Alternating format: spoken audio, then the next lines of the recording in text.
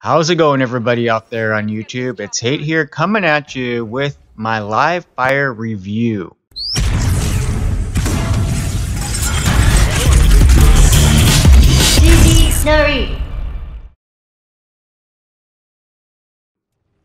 Now, since I've had a little bit of time to sit down and play through tons of matches of live fire, I feel that I'm at a comfortable enough place to give my thoughts on the new game mode. Fortunate enough for me, I also got some really great games with some of the Respawn developers. While I was streaming, I was matched up against a couple of the Respawn developers and a couple other streamers, and we had a couple of really, really great games. The thing for me about live fire that I like the most is some of the matches, when evenly balanced, can be extremely tense. It's the kind of feeling I feel that has been missing from Titanfall 2. It's been a while since I've played a game mode where my heart is beating out of my chest. I feel my nerves at their very end. It's something I'm really, really happy to see coming into Titanfall 2. Now, some of the things that I was concerned about with my early meta to live fire video have came to fruition, however. I've noticed a couple of things that I was worried about previously going into Titanfall 2 rearing their ugly head in live fire. The amount of spam from both teams is a little bit ridiculous. One thing I really don't like about live fire is at the beginning of some matches, you instantly are getting hit with a pulse blade. You're not even a second into the match, and pulse blades are already cross map, pinging your team, letting the enemy know where you guys are at. Now, on the opposite, I've got to say, I really, really am enjoying live fire. It's been a while since I really wanted to just hop on Titanfall and get as many games in as possible.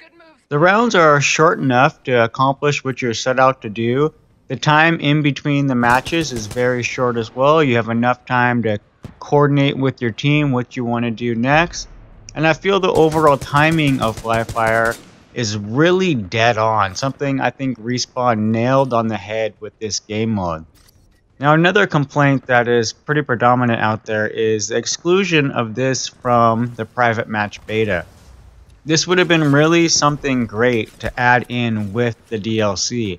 Seeing as this is a competitive game mode, having the option to run this in private beta and set up some scrims with other teams or your own clanmates would have been an excellent addition to this DLC. I'm actually very surprised that it wasn't released with this DLC. Let's talk about the two maps, starting off with Meadows. Meadows was a map I really did not enjoy starting out my experience in live fire. It slowly began to grow on me to the point where I prefer it over the second map. Here are some of the reasons why I like Meadows. It is a small map, but it also isn't so confined that you cannot run different styles of loadouts you have the option to play from a distance and you have the option there to get up close and personal something i really like about live fire it's got enough areas to hide. It has some buildings to snipe from. It has some areas to be sneaky and it has zip lines. One of the things that was missing in titanfall 2 upon release.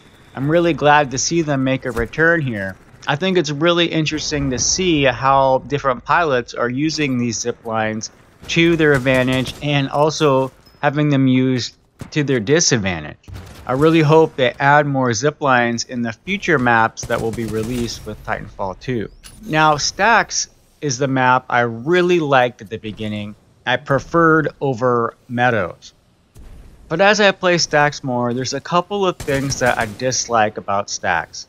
For example, on one side, you are completely blocked off and forced to go through this little choke point tunnel, where on the other side, it's completely open to go high or go low. Now, this little choke point can create some very interesting dynamics, but I also feel like it takes away from the fluidity of the gameplay. When you have just a small, teeny, teeny choke point, all of your energy and your fire is focused on that small hole, making it hard to flank from that side in certain situations. Whereas on the other side, you can come out on the high, the mid, or the low and flank very easily. Also, there are some very key differences on stacks based upon where you spawn.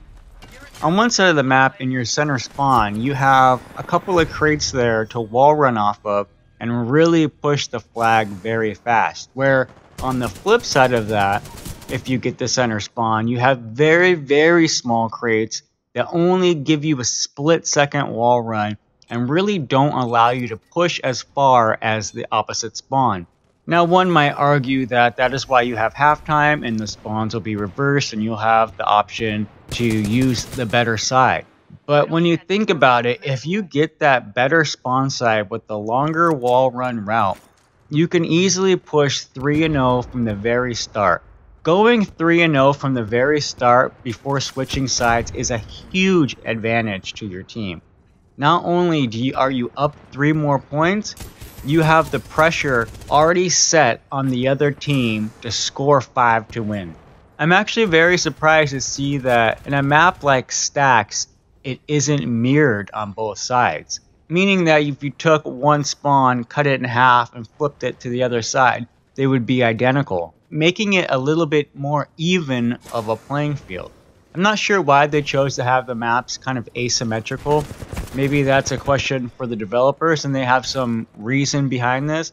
But it would have been interesting to see a map like Stacks be mirrored, making the flank routes even on both positions overall, I have to say they did an excellent job. Shouts out to Respawn. This is exactly what Titanfall 2 needs in order to have longevity. A lot of people are complaining that it's a mode without Titans, but I feel we're going to be getting those in the future. And this is something that gives the competitive player something to queue up very fast get some really fun, challenging games in, and really test their grit against other pilots out there. If any of you guys out there haven't had the chance to go ahead and try Livefire, definitely hop on Titanfall 2, download the DLC, it's very small, about 4 gigabytes, and hop into Livefire. It'll take a little bit of fine tuning and adjusting to get used to the new playstyle mechanics of Livefire, but you'll find yourself having a lot of fun. It'll get your heart pumping out of your chest in certain situations, and that's all I can really ask for in a game mode. It's challenging, it's fast paced, and you'll have a lot of fun. Overall, I'm definitely giving Livefire the thumbs up. I'm going to be playing it as much as I possibly can before they switch it up to something new. It's nice to see new maps in Titanfall 2, and just a big shouts out to Respawn for giving us something different in Titanfall 2. I'm looking forward to everything I'm sure they have in store for us in the future. My hat's off to them because it's all free. What more can you ask for? So in my closing thoughts, the only thing I can suggest that is not already in Livefire is perhaps disabling some of the pilot abilities and loadout choices for Livefire specifically. If we can in some way reduce the amount of spam in Livefire, I think it will make for an overall better play experience.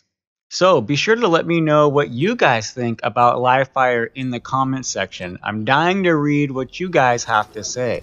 Remember, if you're enjoying Livefire, head over to Twitter and hit up the Respawn developers and let them know what you think can be improved or let them know just how much you're enjoying it. I know I'm going to go head over there and leave them a couple of critiques and a big thumbs up for giving us Livefire. I'm having a blast playing it, and I can't wait to see more from them. As always, I'm Haight. I'm going to catch you in the next one. It's GG, no re.